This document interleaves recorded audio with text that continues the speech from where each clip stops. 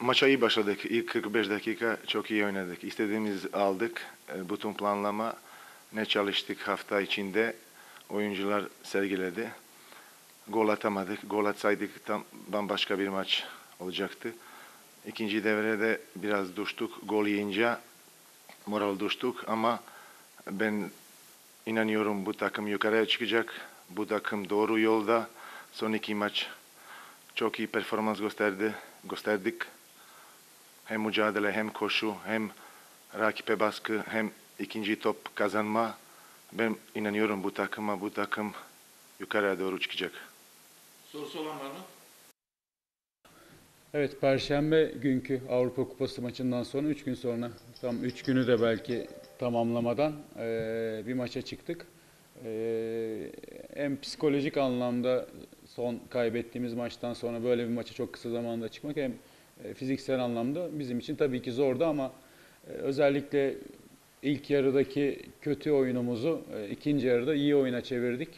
Burada tabii ki hem giren oyuncularımızın e, katkı yapması hem saha içerisinde ilk yarıda özellikle e, rakibe çok fazla izin veren oyun tarzımızı değiştirmemiz. E, bununla birlikte yaklaşık bir 15 dakika içerisinde oynadığımız iyi oyun bize iki gol ve galibiyeti getirdi. Oyuncularıma tabii ki her zamanki gibi teşekkür etmek istiyorum. E, bu zorlu tempodan e, iyi bir şekilde çıktık bu maçla ilgili. Bundan sonra dört tane lig maçımız var. Bir Avrupa Kupası, yine iki tane Türkiye Kupası maçı var. Ee, yine zorlu bir tempo bizi bekliyor. Ee, daha iyisini yapmamız lazım. Yani bugün ikinci yarıda oynadığımız oyunu bundan sonraki haftalarda e, daha uzun dakikalarda e, sahaya yansıtabilirsek çok daha başarılı olacağız.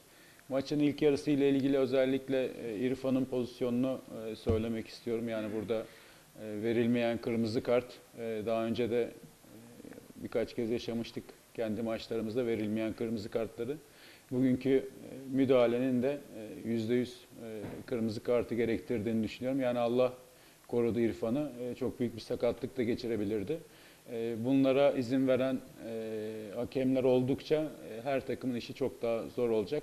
E, Bundan önceki maçlarda genelde bu tür e, faallerde özellikle VAR hakeminin uyarıp hakemi e, görüntü izletmesi çok daha doğru oluyordu. Bugünkü belki VAR hakemi Arda kardeşlerin burada büyük bir hatası var ve hakemi çağırıp bu pozisyonu göstermesi gerekiyordu. Maçın hakeminin buna karar vermesi gerekiyordu. Yani yanlışı Arda kardeşlerin e, yapmasına gerek yoktu. Maçın hakemi izleyip karar verebilirdi. O yüzden e, bence e, İrfan'ı Allah korudu demin de söylediğim gibi çok büyük bir sakatlık geçirebilirdi.